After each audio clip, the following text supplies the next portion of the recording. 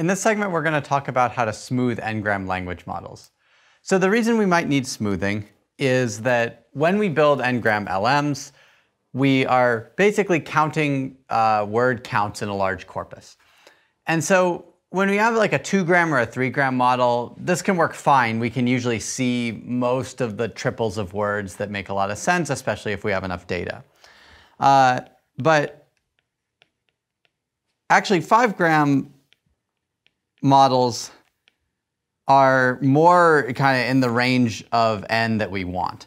Uh, these actually can work pretty well. And to just kind of illustrate this, if we think about the distribution of words after two, um, so this would be this would be a two gram model um, versus the distribution of, of words after uh, go to versus the distribution of words after uh, want to go to or after hate to go to, then uh, we could see that the distribution of words based on wanting or hating to go somewhere uh, is probably going to be very different. Um, maybe we hate to go to class, um, but we want to go to Austin. And so having this additional context is generally going to be very useful for these models. So we're going to see that recurrent neural networks allow us to get this in one fashion, but before people were using recurrent neural networks heavily for this task, there was this trade-off between how many words of context you used and how difficult it was to estimate your parameters. So this is what smoothing uh, is supposed to do. So suppose that we have the probability of Austin given 2. Um, you know, we're, we is assuming we have a big enough data set that contains the word Austin. Um, we're probably going to see it in some construction of 2 Austin, and so this is going to be greater than 0 because it's seen in, in the data. Um, but this only holds for a 2 gram model. If we think about the probability of Austin given want to go to, a lot of times this is going to be zero uh, if the corpus isn't huge. And even if you do have a huge corpus, uh, you know, are you necessarily going to see want to go to, hate to go to, like to go to, etc. Every combination of it with like every place? No, you're not. So the reason for that is just because we don't see uh, we don't see this five gram want to go to Austin occur with non-zero count. So this is going to be the idea behind smoothing. So there are many techniques for figuring out how to reserve some probability mass and basically like give a small amount of probability to these unseen instances so we can uh, you know not judge them as totally impossible if they come along in future data. So the scheme that we're going to talk about is called absolute discounting. I'm just going to give you the high level picture of what's going on here so you understand what this family of techniques looks like. The idea is that we reserve mass from seen 5 grams to allocate to unseen 5 grams. All right, and so concretely what this means is if we have P of Austin given want to go to, it's defined in the following way. Uh, I'm going to abbreviate this. So this is the count of want to go to Austin over the count of want to go to. So this is just the maximum likelihood estimate of the parameters here give, given the counts drawn from a big corpus. So what we are going to change here is we are going to subtract a constant k, and we're just going to say that 0 is less than k is less than 1 here. And then we're going to add lambda.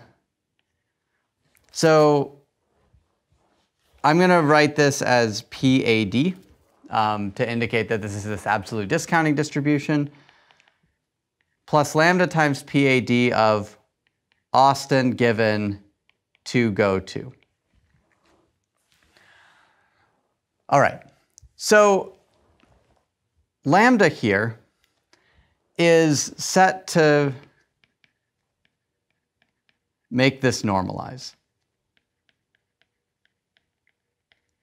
So let me show you an example of this. So if we have the context want to go to, maybe we observe this four times in our data.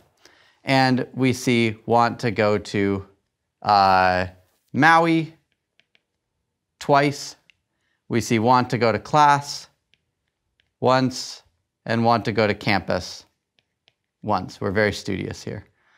So what we do is if k equals 0.2, then we are essentially think of it as subtracting off from each of these counts. And so our kind of denominator here, the count of want to go to, is 4, right? We've seen it four times with, uh, you know, with these three unique contexts. And so lambda here ends up being 0.6 over 4. It's the number of word types seen in this context uh, times k. That's what the that's what the numerator here is, and the denominator is just the count of uh, count of want to go to.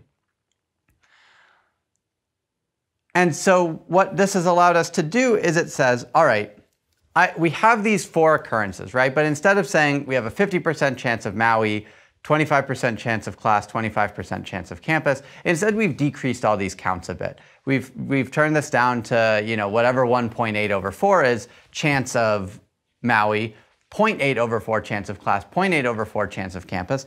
And now we have this 0.6 over 4 times a lower order model.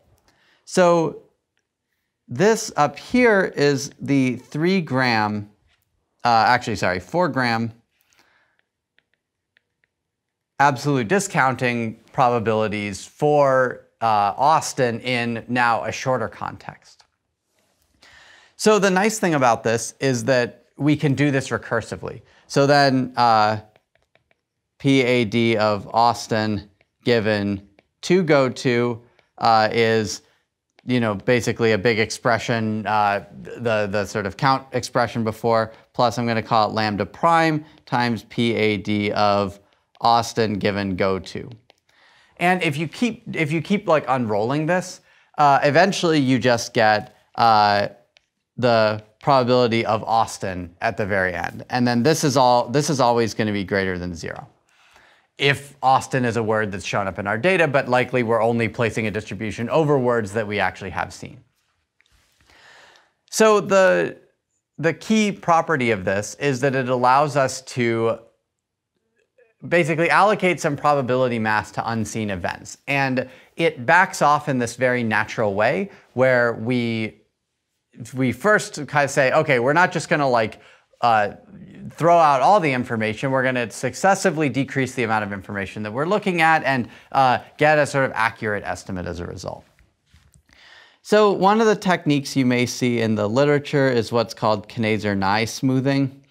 Uh, Kneser-Ney smoothing is very similar to absolute discounting. There's one kind of extra trick that they use where these lower order uh, these lower order probability distributions depend on essentially the number of unique words seen in a particular context because the assumption is when you're seeing a new word, what matters is what's called the fertility of the context, how many unique things can come after it. So go to would be a very fertile context because lots of things can come after it. So they, they kind of adjust the probabilities in one additional way, but uh, if you ever do any kind of n-gram language modeling, it's probably gonna be uh, with Kneser-Ney, which uses roughly this framework. So this is not something we're going to be exploring too much more in the rest of the course, but this gives you an idea of what kind of techniques get used here in order to let you estimate these language models. And that's the end of this segment.